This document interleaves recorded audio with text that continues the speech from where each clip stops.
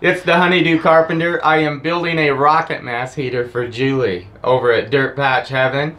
Awesome. But anyway, it's been a long time coming, but we're finally to the phase of this where I'm building the heat riser. And so this is a little video about the heat riser. It's kind of a crazy, crazy heat riser.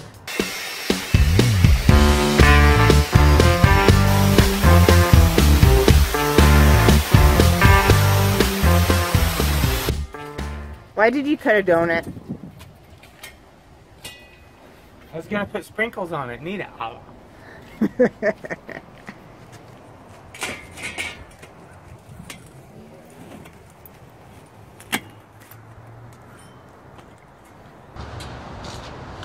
I'm going to uh,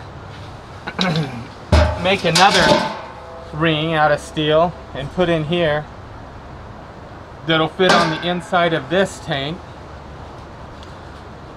And then after the heat riser goes on, this will go over the top of the heat riser and it'll set right like that. She can put on a great big ring over this and fill it with pea gravel for mass. You know, I know she's gonna run the exhaust out of here um, down through a bench. So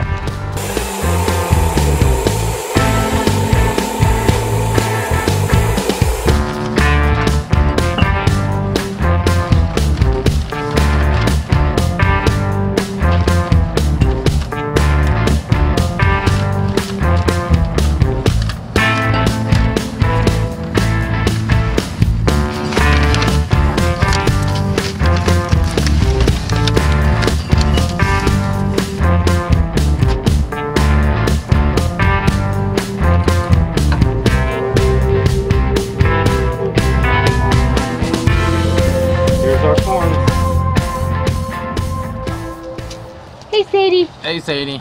Hey Sadie girl. Uh, the you want some chin chin? Uh.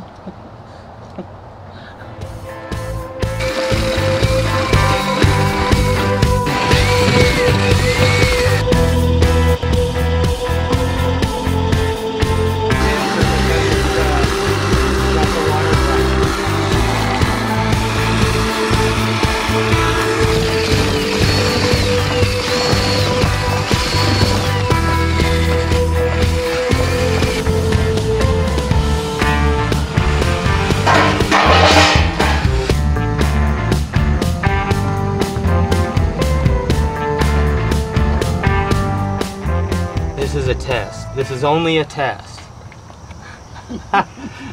of the emergency rocket mass system.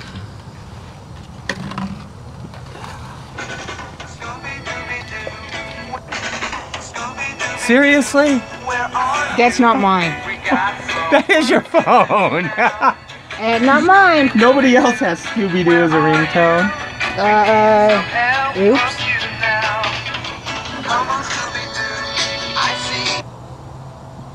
Supposed to keep your phone on silent, babe. Oh, I always do. I know.